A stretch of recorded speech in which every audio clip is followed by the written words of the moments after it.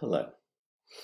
Distance Ed has created brand new templates for us to use for our Canvas shells.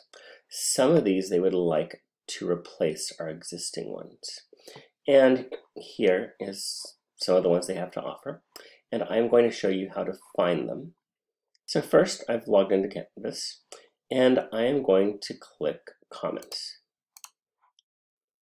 And then up here, I'm going to do DVC instruction distance ed. And I get this page. So these are templates for you to use in your Canvas shell. And there's some new ones. I actually like these three. DVC, hybrid module, DVC, synchronous module, and asynchronous module. There's also a homepage template and surveys, discussions, so new ways to do these. Now, the reason why I'm writing you is the DVC course orientation.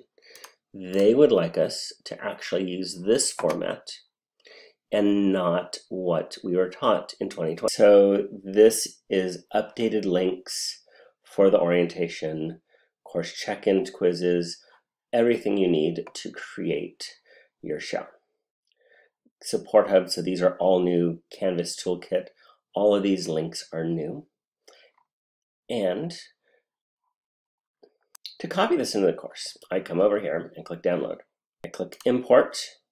I then pick the class I want to move it into. These are all the live classes. Yes, I have a ton of classes right here. So these are all sandboxes. So you select the class you want to move it. Now, I was checking out the new homepage, and we can still use what we have as our homepage, but professor contact, office hours, getting started.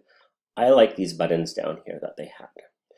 And so these are quick links, they're uniform. I actually like going one step further. I completely stole this from one of our nutrition teachers and I actually have six buttons that are three by three that will take them to past modules. I actually have a big blue button to take them to the current module.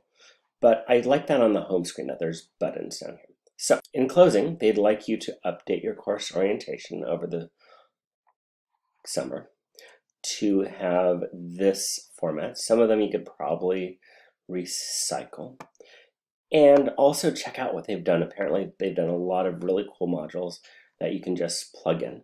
And that's what I'm actually planning to do for my class. Thank you.